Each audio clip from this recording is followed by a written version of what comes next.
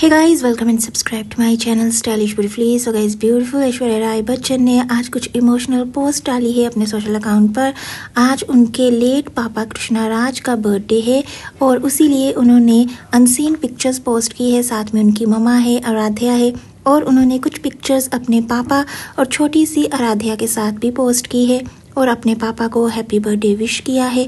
उनके पापा 18 मार्च 2017 को इस दुनिया से चल बसे थे और उन्हीं को याद कर कर आज उनका बर्थडे सेलिब्रेट कर रही है। ऐश्वर्या राय बच्चन। ऐश्वर्या राय की ममा को भी कैंसर हो चुका है, लेकिन अभी वो काफ़ी ज़्यादा ठीक है। अपने बर्थडे पर ही उन्होंने इमोशनल होकर सबसे ये बात शेयर की थी कि उनकी ममा को भी कैंसर हुआ था, लेकिन अभी वो कैंसर से काफ़ी ज़्यादा ठीक हो गई हैं। गाइस पर्सनल लाइफ में ऐश्वर्या राय बच्चन के काफ़ी ज़्यादा अप्स एंड डाउन आए हैं, लेकिन कभी भी उन्होंने ये सब शो नहीं किया सोशल मीडिया पर, बस अपने बर्थडे वाले दिन ही उन्होंने ये रिवील किया था कि उनकी मम्मा को हुआ था कैंसर सो गाइस अभी अभी फिफ्टी बर्थडे सेलिब्रेट किया है ऐश्वर्या ने और उसके बाद उनकी बेटी ने अभी अभी ट्वेल्थ बर्थडे सेलिब्रेट किया है। कोई वीडियो कैसी लगी, ज़रूर बताना। अच्छी लगी तो मेरे चैनल को ज़रूर सब्सक्राइब कर देना। Thank you for watching guys bye